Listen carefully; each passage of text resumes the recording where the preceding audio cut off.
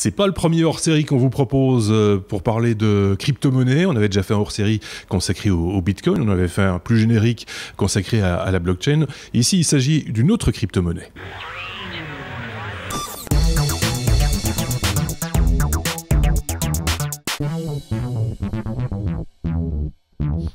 Et bien sûr, pour en parler, toujours les mêmes acteurs, je serais tenté de dire, de ce côté-ci, notre ami Xavier, salut Xavier. Salut. Et puis euh, notre spécialiste maintenant euh, chez les technos, que vous connaissez bien euh, à présent, Sébastien. On va parler d'Ethereum et d'Ether. C'est une autre crypto-monnaie, Xavier. Oui, c'est pas de l'alcool, c'est pas un médicament, c'est euh, une crypto-monnaie effectivement. Euh, alors on, connaît bien le Bitcoin, on en a déjà parlé. C'est aussi une technologie, c'est aussi une monnaie qui est basée sur la blockchain dont on a également parlé. Alors on, va demander directement euh, à Seb pourquoi est-ce qu'elle était est par rapport au Bitcoin, quels sont ses avantages dessus? Et à quoi il sert? Alors effectivement, on a déjà parlé de, de l'histoire de Bitcoin et tout ça, donc euh, ça date de le tout début date de 2009 et, euh, et après le Bitcoin, eh ben effectivement les mêmes concepts, comme c'était en plus du code open source, mmh. les mêmes concepts ont facilement été euh, reproduits à foison pour créer d'autres crypto-monnaies. Donc si vous allez voir sur un site comme cryptocompare.com aujourd'hui, vous allez voir qu'il y a plus de 700 monnaies qui existent. donc c'est assez gigantesque, mais mais en particulier, au bout d'un moment, on a commencé à se dire bah tiens, ce qu'on arrive à faire finalement pour de la monnaie, qui, sert à représenter de la valeur, euh, est-ce qu'on pourrait pas le faire pour n'importe quel type de valeur, et notamment pour euh, des transactions au sens plus large? Et c'est là que euh, certaines personnes ont essayé d'abord de faire ça dans Bitcoin, donc de, détourner un petit peu l'objectif de Bitcoin et, de, de l'utiliser pour plus que de la monnaie. Et puis, et puis on s'est rendu compte que Bitcoin était vraiment très centré là-dessus, que c'était possible mais très compliqué de faire des transactions plus génériques. Et donc, euh, certains acteurs, certains euh, euh, défenseurs du Bitcoin se sont dit, ben, il n'y a pas, il a pas, il a pas de possibilité de faire autrement. On doit créer une nouvelle blockchain mhm. qui fonctionne un petit peu différemment et qui permet des transactions plus génériques. Et ça a été notamment le cas d'un monsieur qu'on appelle Vitalik Buterin. Alors, je dis monsieur, mais le monsieur est très jeune puisqu'il a commencé Ethereum quand il avait 19 ans seulement. Ah oui.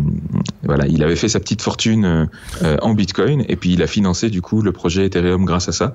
Et, euh, et concrètement, c'est quoi, c'est quoi Ethereum? Ben, Si on se souvient bien, dans le cas de, de Bitcoin, on a un registre euh, de transactions mhm. euh, qui permettent de définir à telle date telle personne a envoyé tel montant à telle autre personne. dans le cas d'Ethereum, on a aussi une date, on a aussi une source et une destination, mais on peut non seulement envoyer de la crypto-monnaie, et dans le cas d'Ethereum, c'est ce qu'on appelle de l'Ether, mhm. mais on peut aussi faire des transactions avec du code dedans. Et donc on peut euh, soit euh, concrètement soit déployer un morceau de code, c'est-à-dire euh, dire bah, à telle adresse vous avez tel programme qui peut faire ça et ça. Et mhm. puis vous avez aussi des transactions qui peuvent exécuter une fonction d'un contrat, c'est-à-dire en gros vous avez un service qui est à disponibilité, qui est à disposition quelque part sur la blockchain et vous pouvez dire bah, je vais appeler tel service sur tel morceau de code et, et du coup grâce à ça, bah, ça peut être, euh, euh, par exemple, transférer un, titre de propriété d'une personne à une autre. Ça veut dire acquérir des droits d'auteur pour une œuvre. Mhm. Ça peut être, voilà. Est-ce que ça peut être des opérations récurrentes, par exemple?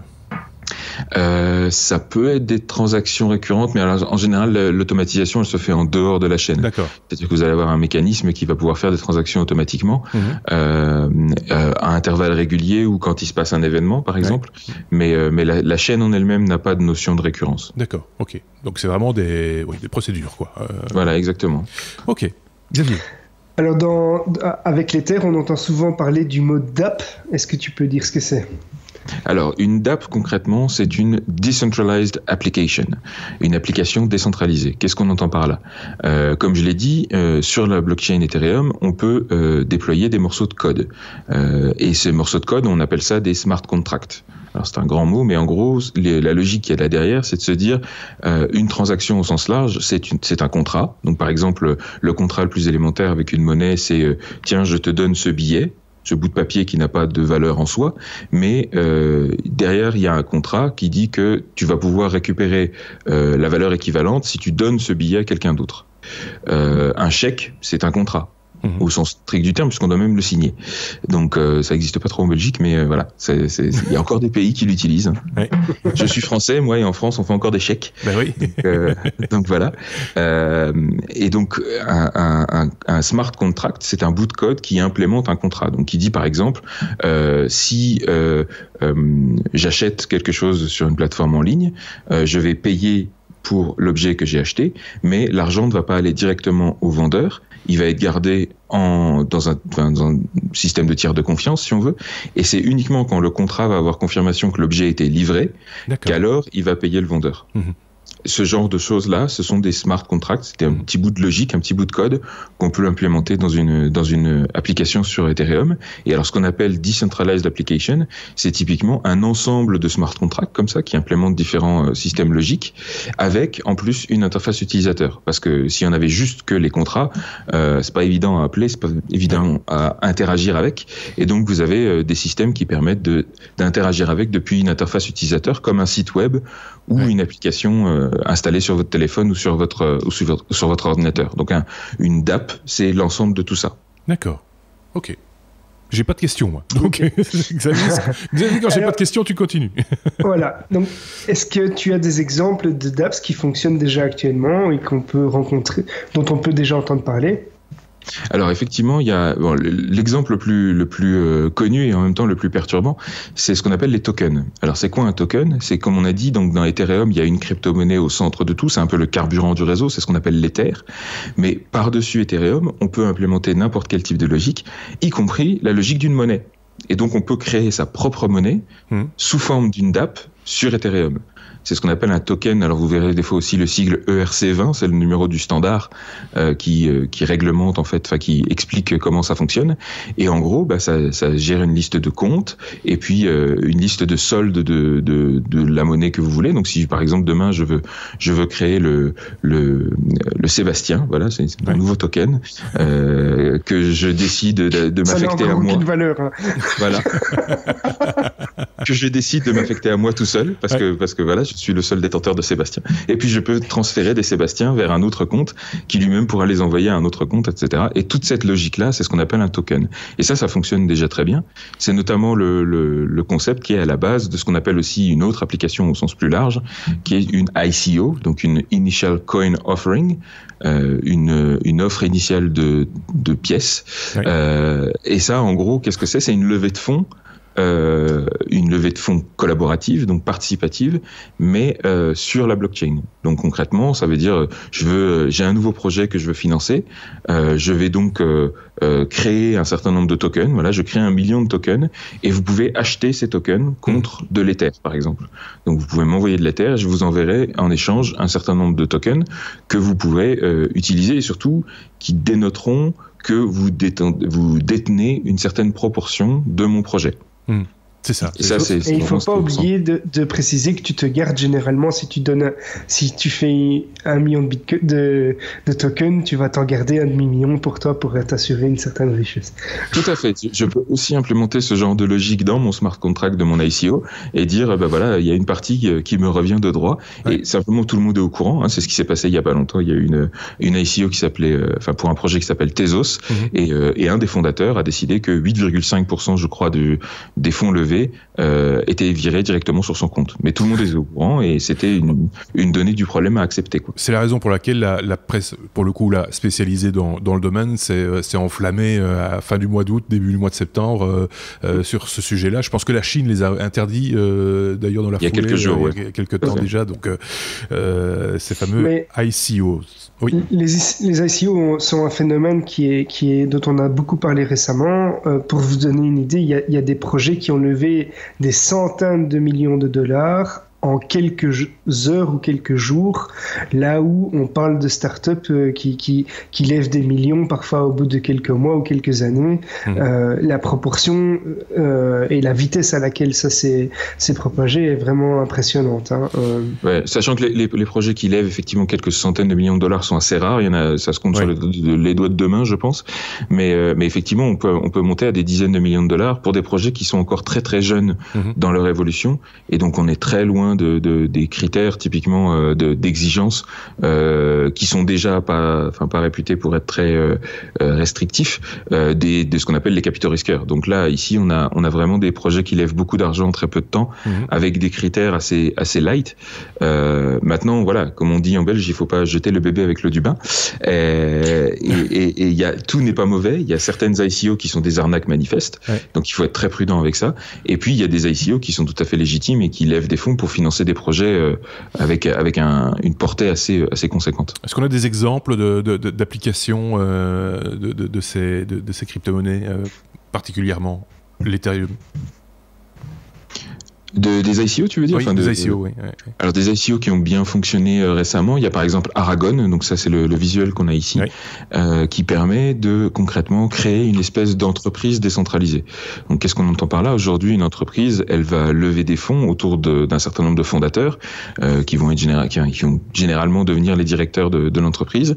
et euh, qui vont rassembler sous leur nom et derrière leur projet un certain nombre de fonds et du coup décider de comment ces fonds vont être alloués aussi. Euh, donc ils vont dire de, on va investir dans tel et tel service ou dans tel et tel matériel, euh, et du coup, euh, à travers ça, diriger un petit peu l'avenir de la, de la société. Donc en général, euh, vous avez des, des, des structures d'actionnariat qui sont, en tout cas, qui démarrent assez simplement, mhm. avec quelques actionnaires, enfin une dizaine d'actionnaires grand maximum. Euh, maintenant, euh, les ICO permettent aussi de financer des structures beaucoup plus larges, euh, et ce qu'on appelle des DAO, donc des Decentralized Autonomous Organizations, on en a déjà parlé, mais l'idée c'est que euh, c'est une, une structure d'actionnariat d'une certaine manière, sauf qu'au lieu d'avoir des actions, on a des, des tokens euh, qui qui dénote la valeur euh, de celui qui la, qui la possède. Et ensuite, euh, vous pouvez comme ça participer grâce au, en fonction de la proportion de tokens que vous détenez, vous pouvez participer aux décisions qui sont prises par rapport à l'allocation des fonds mhm. euh, de la société. Et, euh, et ça, c'est une, une, une, application qui est favorisée par Aragon, justement. D'accord. Est-ce que, est que tu pourrais donner des exemples d'applications concrètes euh, qu'on pourrait voir apparaître dans le futur et qui se baseraient sur l'Ethereum, justement? Alors, le, probablement une des applications qui, moi, m'excite le plus, c'est euh, la distribution d'énergie. Il euh, faut voir qu'aujourd'hui nos, nos, systèmes électriques sont très très très euh, centralisés. Voilà, vous avez des centrales euh, nucléaires, thermiques, etc. qui produisent de l'électricité avec un réseau qui est généralement en étoile autour de ces de ces points de production mhm. et, et, qui vous amène l'énergie et l'électricité jusque chez vous. Sauf qu'on commence à voir apparaître ben, des champs d'éoliennes qui se multiplient, des panneaux solaires sur les toits et aujourd'hui encore, quand on produit l'énergie avec avec des éoliennes ou avec des panneaux solaires, eh ben on est encore obligé de passer par le réseau centralisé pour revendre cette énergie excédentaire euh, ou alors l'utiliser soi-même. Mhm. Mais avec la blockchain, on peut donner naissance à ce qu'on appelle l'Internet de l'électricité, un vieux rêve d'un certain Jérémy Rifkin que je vous invite à, à consulter, mais euh, voilà, qui en gros vous, va vous permettre de revendre directement l'énergie que vous produisez avec vos panneaux solaires sur votre toit euh, à vos voisins ou euh, à quelqu'un qui en a besoin parce qu'il n'y a pas de soleil chez lui. D'accord. Et, euh, et, ça va être facilité, ces micro, ces ventes de vont être facilités grâce, grâce à la ah, là, ça, ça, ça, rame un tout petit peu. c'est une fois de plus, c'est Skype de temps en temps qui, nous fait, des, qui, qui, nous fait des, des, petites blagues comme ça. Donc, en conclusion, oui, l'électricité, ça va, ça va faciliter les échanges, entre guillemets, de, de, de production d'énergie, quoi. Exactement, et sans passer du coup par, euh, enfin voilà, il y a, y, a, y a, des gros euh, des gros chamboulements aujourd'hui dans le marché de l'électricité parce que euh, les gros acteurs ben, comme Engie, comme Electrabel, etc. Se, sont en train d'être bousculés par tout ça mhm. parce que ça, ça, va les forcer à s'adapter et, et aujourd'hui leurs infrastructures et leurs logiciels sont sont pas vraiment adaptés à ce mode de production d'électricité très distribué, très décentralisé. Donc il y a de gros défis autour de ça. Et des défis technologiques également dans le partage de cette énergie sur le réseau parce que bon, une production d'énergie n'est pas la enfin, il y a des normes, en gros, euh, en Belgique, en France, 220 euh, volts, 50 euh, Hertz, voilà, il faut les respecter aussi. On peut pas balancer tout ce qu'on veut sur, le réseau, hein, ça se fait pas comme ça. ok, on en est où? Xavier, la suite. Alors, oui, attends, juste, Sébastien, un mot encore? Oui, juste pour euh, pour euh, ouvrir un petit peu encore plus les chakras de tout le monde. Euh, il y, a, y, a, probablement une, une application qui est encore plus excitante, mais là qui va euh, sérieusement prendre un peu de temps à se mettre en place et et qui va bousculer beaucoup de choses. C'est ce qu'on appelle la démocratie liquide. Ah oui, tiens, on entend parler de ça. C'est quoi en fait la démocratie liquide? Alors, la démocratie liquide, il faut bien voir que la démocratie telle qu'on la conçoit aujourd'hui, c'est une démocratie euh, représentative, pardon, mhm. euh, qui est centralisée autour d'un gouvernement avec une assemblée nationale, avec etc., avec des structures, avec des institutions très centralisées. Euh, et de, fait, on a, pour l'instant, on a, on a, j'allais dire, on n'avait pas encore trouvé mieux. maintenant, grâce à la blockchain, on commence à entrevoir la possibilité d'avoir des démocraties beaucoup plus décentralisées. Mhm. Et alors, notamment un système qu'on appelle la démocratie liquide. Et concrètement, ça consiste en quoi? C'est que chaque citoyen aurait la possibilité euh, de participer directement à une décision, donc de mettre son vote sur une réponse à une question. Par exemple, je sais pas moi, est-ce que euh, on, doit construire ce tronçon de route d'un de, kilomètre de tel endroit à tel endroit? Euh, Chacune des personnes concernées pourrait dire oui ou non, mmh. ou déléguer sa voix à quelqu'un qui juge être un expert.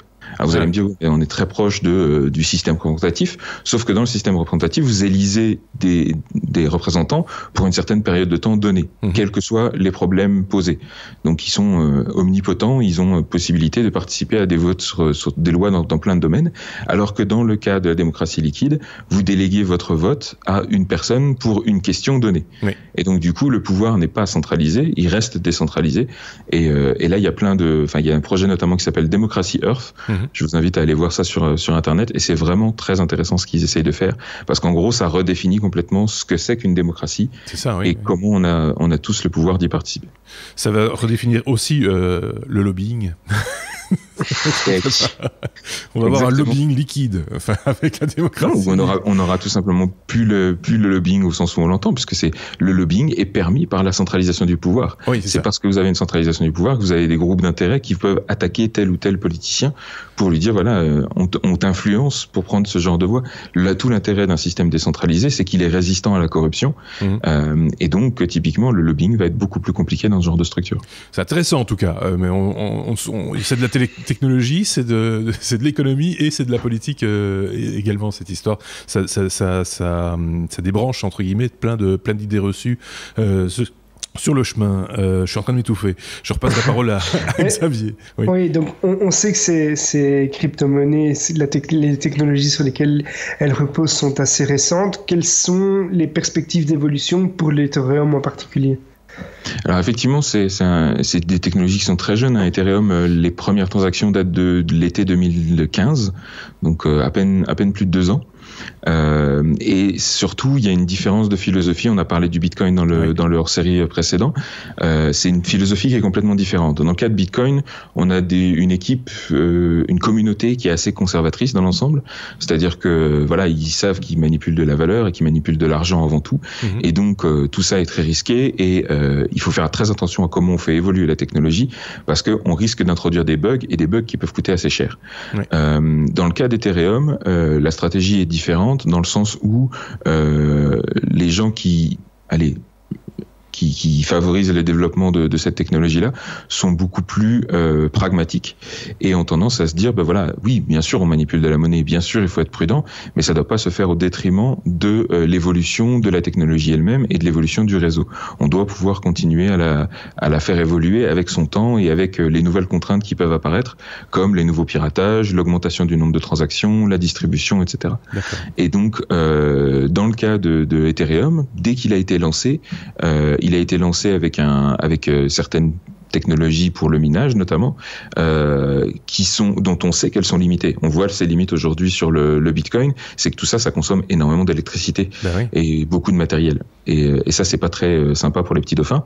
Donc, euh, il faut trouver des alternatives. Et dans le cas d'Ethereum, il y a une alternative qui, qui est en train d'être mise en place, qui s'appelle la preuve d'enjeu, mhm. qui est un nouveau, une nouvelle façon de, de miner d'une certaine manière, donc une nouvelle façon de décider qui a le droit d'ajouter des transactions dans le dans le ledger. Et, euh, et cette nouvelle technologie va être mise en place à partir de la fin du mois de septembre et jusque début d'année prochaine. Donc ça va prendre quelques mois à, à sortir ça. Et ça, ça va avoir un impact non négligeable sur l'architecture du réseau dans son ensemble et, euh, et, le, et le fonctionnement de cette monnaie. Donc euh, euh, là encore, c'est super important de se tenir informé, de lire les news. pour tout ce qui est Ethereum, je vous conseille ETHNews, E-T-H-N-E-W-S, uh-huh. qui, qui rassemble beaucoup d'informations sur ce sujet-là et évidemment on en parlera aussi dans les, dans les technos.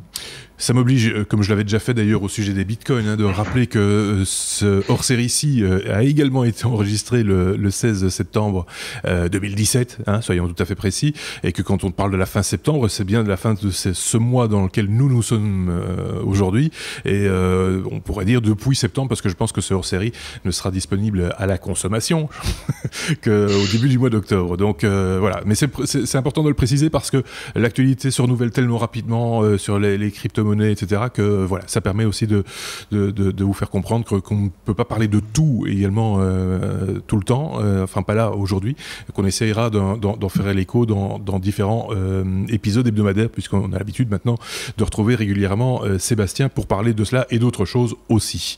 Xavier oui, mais rapidement, on est donc on sait que euh, pour des raisons techniques, euh, on est passé, par exemple, du Bitcoin à l'Ethereum. Euh, Qu'est-ce qui nous empêcherait de passer à une autre une autre technologie? Est-ce qu'il y a d'autres projets euh, qui sont déjà envisagés? Mmh. Alors effectivement, la blockchain n'a rien d'exclusif en soi, même si euh, la valeur d'une crypto-monnaie est directement liée au nombre de personnes qui, qui l'utilisent. Euh, ça n'empêche pas qu'il y ait plusieurs projets qui se déroulent en, parallèle. Et d'ailleurs, le Bitcoin n'a pas disparu, il est encore, euh, il est encore là et bien vivant. Euh, il y a Ethereum à côté. Comme je le disais, il y a plus de 700 euh, crypto-monnaies qui existent, dont certaines reprennent l'idée d'Ethereum de construire une blockchain plus générique et, et, et d'apporter des fonctionnalités qu'Ethereum ne permet pas forcément, en tout cas pas encore. Mhm. Euh, et donc euh, il y a quelques projets comme ça qu'il faut, qu'il faut, sur lesquels il faut garder un œil.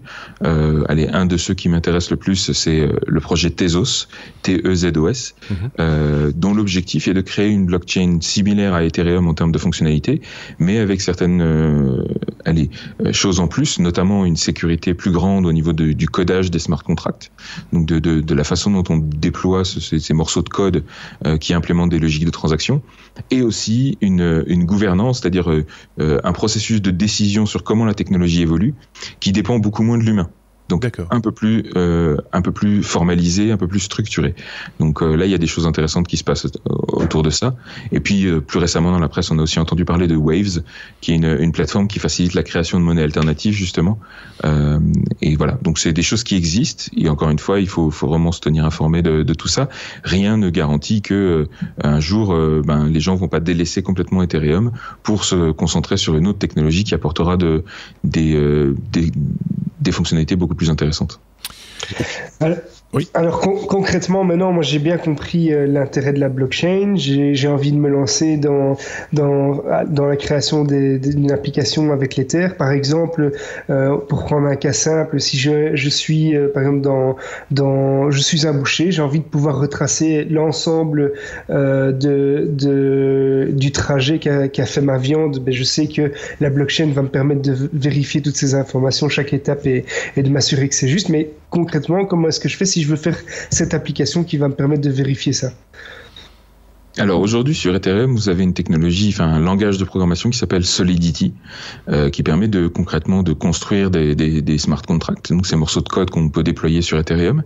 Et euh, vous avez tout un tas de petits outils qui tournent autour. Alors l'environnement est encore assez euh, euh brut de décoffrage et assez euh, comment dire compliqué à mettre à mettre en, ensemble, mais ce sont des, que des projets open source, donc vous pouvez trouver toute la documentation en ligne et vous pouvez trouver un grand nombre de ressources. Alors faut se méfier parce que des fois le, le là aussi la date est très importante dans la mesure où ce sont des technologies qui évoluent très très très vite. Ouais. Donc euh, d'une semaine, d'un mois sur l'autre, ça peut énormément changer. Euh, et c'est aussi pour ça que voilà, on a créé euh, avec un ami cette cette petite initiative qui s'appelle Chain Skills. Mm -hmm. Donc vous pouvez retrouver le, le, site web où on partage de temps en temps des ressources. Et on a créé aussi un cours en ligne euh, que vous pouvez retrouver sur Udemy. Mm -hmm. et alors en ce moment, il y a d'ailleurs une promotion très intéressante sur Udemy. Vous verrez les, la plupart des cours informatiques sont à 15 euros. Donc c'est très intéressant. Et sinon, vous pouvez utiliser le code Les Technos qui vous donnera accès ah, au cours avec un, avec un tarif plus intéressant. Qui en veut mes beaux légumes, mes belles... Voilà, c'est exactement ça. Un beau coupon. C'était la minute euh, téléachat. Euh... Voilà, c'était la minute téléachat, tout à fait. Non, mais c'est bienvenu en, en, en, même temps parce que voilà, ça permet de mettre le pied à l'étrier essayer, comme on dit, si Et de toute façon, enfin encore une fois, hein, le, but ici, c'est pas de, forcer à la vente, c'est juste de, vous montrer un petit peu les, choses qui existent. Il y a des meet-up, il y a des réunions régulières. J'en ai fait une encore à Liège il y a quelques semaines. Il y en a une le 20 septembre au Creative Spark à mont Qui a eu lieu peut-être le 20 septembre. Oui, qui aura eu lieu si vous êtes si vous écoutez ça après le 20 septembre. Mais voilà, surveillez les news. Il y a régulièrement euh, des, des, news qui sont partagées par rapport à, ce genre de réunion où vous pouvez aussi vous informer et partager avec d'autres membres de la communauté. C'est un, monde très ouvert. Voilà, donc bah, c'est le principe aussi en même temps. Hein, euh, Exactement. Euh, je pense qu'on a bien, Xavier, dis-moi si je me trompe, mais je pense qu'une fois de plus, comme pour le Bitcoin, sur l'Ethereum, on a bien fait le tour de la question. Il n'y a plus rien à rajouter, une conclusion, un dernier mot? comme, l'a dit Seb, c'est un, un, sujet qui est très vague. Donc bah ici, le but est de vous mettre un petit peu le pied à l'étrier, mais il y a, y a, une multitude de sources qui vous permettent de, de, de, vous renseigner si vous voulez en savoir plus. Et, et voilà, personnellement, je suis persuadé que c'est une technologie qui va révolutionner euh, notre façon d'aborder certaines applications ou certains mécanismes euh, d'échange, euh, que ce soit de matériel ou de, de services euh, prochainement. Ok, bon, ben, merci en tout cas euh, Xavier, merci également à, Sébastien. Je tiens à préciser également que sur le site lestechno.be, en regard de la vidéo, à chaque article correspondant à un hors-série ou un épisode hebdomadaire, vous avez les coordonnées des chroniqueurs qui ont participé euh, à, ce numéro. Et donc, euh, vous aurez ainsi également accès euh, aux, coordonnées de, Sébastien. Si vous avez des questions plus précises à lui poser, je pense qu'il n'y a aucun souci. Ah, tout à fait. N'hésitez pas aussi à poser des questions en commentaire de la, de la vidéo. je surveille ça de très près et, et j'y répondrai avec plaisir. C'est même mieux pour la plupart des cas de, de, commenter. Comme ça, tout le monde voit également les commentaires. Et ça permet également à une communauté peut-être de se former autour de ça et de, et, de se créer autour de ça, plutôt que d'aller en, en, direct, peut-être pour des trucs très très précis, euh, mais bon, à voir, évidemment. c'est vous qui jugez. Euh, vous êtes libre. c'est ça qui est bien aussi. Merci Xavier. Merci euh, Sébastien. On se dit à, très bientôt. même Si, si, Xavier est en train de casser son bureau. Je sais pas pourquoi. à très bientôt. Au revoir. Au revoir.